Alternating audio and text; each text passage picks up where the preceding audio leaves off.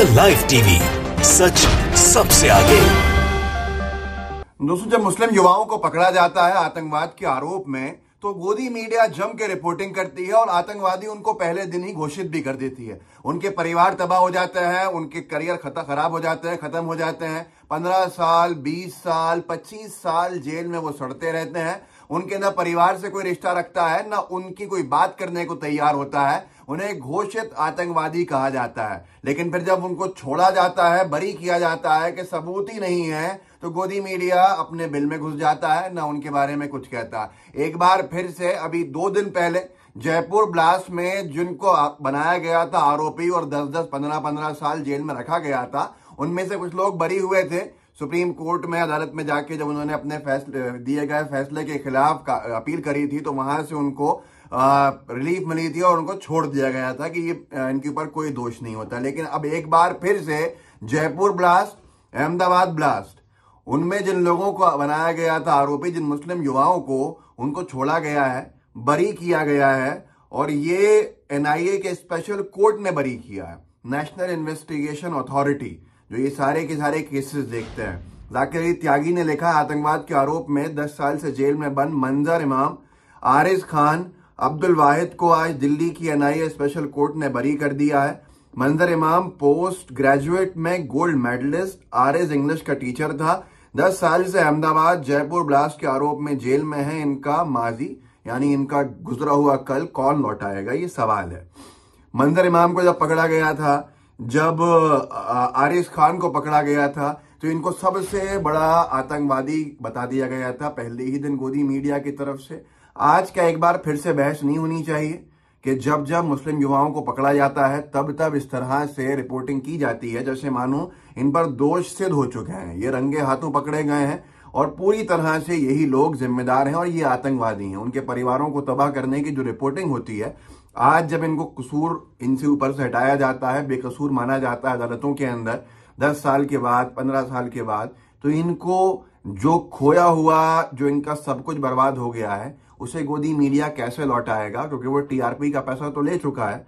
अब इनके क्या होगा? इनके ऊपर जो जो भी कार्रवाई हुई जो रिपोर्टिंग हुई उसके ऊपर कौन चर्चा करेगा? ये पूरा का पूरा जो मामला मंजर इमाम का है वो शुरू हुआ 2022 के अक्टूबर में। जब एक आ, फैसला एक, एक डायरेक्शन आया और ये मुस्लिम स्पेसिस ने लिखा, मंजर इमाम को अगस्त 2013 में राष्ट्रीय जाँच एजेंसी एनआईए द्वारा दर्ज एक मामले में गिरफ़्तार किया गया था और नौ साल से जेल में बंद है। और ये लाइव लॉ ने लिखा था, यूपीए का आरोप, यूएपीए का आरोपी नौ साल से जेल में, आज तक कोई आरोप तय नहीं। दिल्ली हाईकोर्ट ने ट्रायल कोर्ट से पिछहत्तर दिन में जमानत याचिका पर फैसला ले करने को कहा। नौ साल से मंजर इमाम को जेल के अंदर बंद रखा हुआ था। वो मंजर इमाम जो ग्रेजुएट में पोस्ट ग्रेजुएशन में गोल्ड मेडलिस्ट है।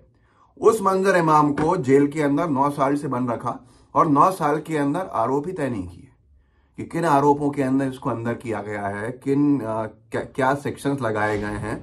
और जब आरोप तय नहीं हुए नौ साल के बाद जब अदालत का दरवाज़ा खटखटाया तो ट्रायल कोर्ट ने दिल्ली हाई कोर्ट ने ट्रायल कोर्ट को लिखा कि पिछहत्तर दिन में जमानत याचिका पर फैसला कीजिए।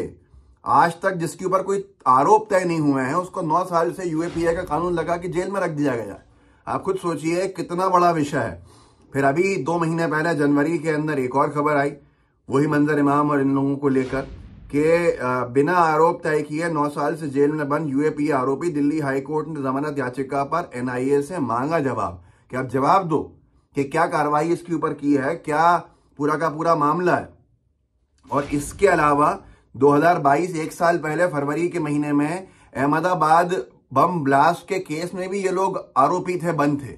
इनको उसमें रिहाई मिली एक साल पहले। फिर जयपुर ब्लास्ट की वजह से ये बंद रहे जेल के अंदर और अब इनको छोड़ा जा रहा है। मोहम्मद शमसुद्दीन अंसारी ने तब ट्विटर पर लिखा था 9 फरवरी 2022 को 2008 अहमदाबाद ब्लास्ट मामले में 13 साल बाद आया फैसला। अदालत ने रांची के उर्दू गोल्ड मेडलिस्ट मंजर इमाम और दानिश रियाज समेत 28 को बरी कर दिया है।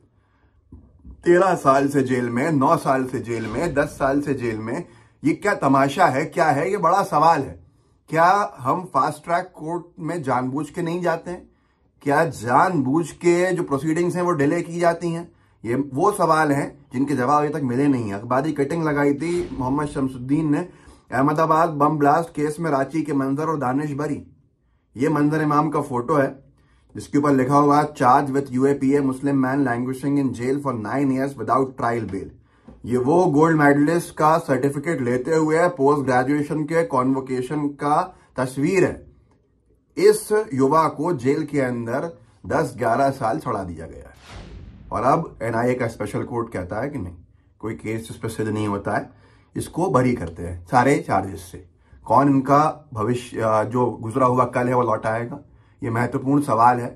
क्या ये, क्या चल रहा है? किस तरह की कार्रवाइयाँ हैं? क्या इसको जस्टिफाई किया जा सकता है? गोदी मीडिया सबसे बड़ी शिकायत है कि वो रिपोर्टिंग ऐसे करती है, जैसे कि मानो बिल्कुल उनको एक आतंकवादी कुख्यात जो है, वो दोषी साबित हो चुका है और उसको पकड़ लिया गया। उसकी ज़िंदगी बर्बाद कर दी है, उसके परिवार को बर्बाद करना है। मतलब घर में जो बहनें, उनकी शादी किसी से नहीं हो सकती है, कोई शादी करने को तैयार नहीं होते हैं, रिश्ते टूट जाते हैं जो नौकरियाँ हैं, वो चली जाती हैं, पिता बर्बाद हो जाता है, माता बर्बाद हो जाती हैं, सब हो जाता है। दस साल का पता चलता है कि साहब, कोर्ट ने फैसला दिया है। ये लोग, इनके खिलाफ कोई सबूत नहीं मिला है, इसलिए इनको दोष मुक्त करके आज़ाद किया जाता है। ऐसी आज़ादी किसी काम की होगी या नहीं होगी, ये बड़ा सवाल है।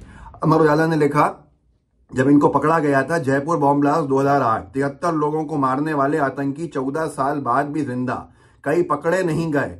12 मिनट में फटे थे आठ बम। बम। एक साल पहले इन्हीं लोगों के ऊपर साथ में लिखा था अमर उजाला ने कि ये 14 साल बाद भी ज़िंदा है। अगर ये उस वक्त ही फांसी पर टांग दिए गए होते तो जो इन पर आज दोष मुक्त हुआ है, वो किसी काम का होता। इनको बरी किया गया है, वो किसी काम का होता है। अमर उजाला की खबर थी, निर्दोष और मासूमों की हत्या के दोषी मोहम्मद सैफ उर्फ़ करियोन हरवर आजमी मोहम्मद सलमान जेल में बंद, इनको भी छोड़ दिया गया है दो दिन पहले। इन अभियुक्तों को की लीव टू अपील और राज्य सरकार के डेथ रेफरेंस के पर पिछले दो साल से कोर्ट में सुनवाई लंबित चल रही है। कोरोना काल में इस केस की सुनवाई नहीं हो पाई। बहुत सारी चीज़ें ऐसी। जब ये लोग हाई को, सुप्रीम कोर्ट में इनसे पहले जो लोग बरी किए गए जयपुर ब्लास्ट में जब ये सुप्रीम कोर्ट वो पहुँचे थे तो सुप्रीम कोर्ट पहुँचने के ऊपर न्यूज़ एटीन ने लिखा था सुप्रीम कोर्ट की शरण में पहुँचे मौत की सजा पाए जयपुर सीएल ब्लास्ट के दो दोषी फांसी रुकवाने की लगाई गुहार। केसेस सिद्ध नहीं कर पाई, जज एजेंसी अपने प्रमाण नहीं दे पाई, कितना बड़ा विषय है। किसी को पंद्रह साल, किसी को पच्चीस साल जेल में सड़ाने के बाद छोड़ा जा रहा है। वायर ने लिखा था जब एक और लोगों को छोड़ा गया था, आतंकवाद के आरोप में जेल ने बिताए सोलह साल, अब अदालत ने निर्दोष करार दिया। ऐसा दोष मुक्त होना भी किस काम आएगा, ये बहुत महत्वपूर्ण सवाल है। आप कम से कम गोदी मीडिया नहीं बता रहा है लोगों को कि इनको छोड़ दिया गया है। आप ही बता दीजिए। आप ही जनता तक पहुँचा दीजिए। इस बात को जिनको आतंकवादी घोषित कर दिया था गोदी मीडिया ने, अब उनको बरी किया जा रहा है तो गोदी मीडिया शांत है। इस वीडियो को आगे बढ़ाइएगा, लोगों तक पहुंचाइएगा। लाइव टीवी को सब्सक्राइब भी कीजिए बेल आइकन भी दबाइए। Jai Hind, Jai Bharat.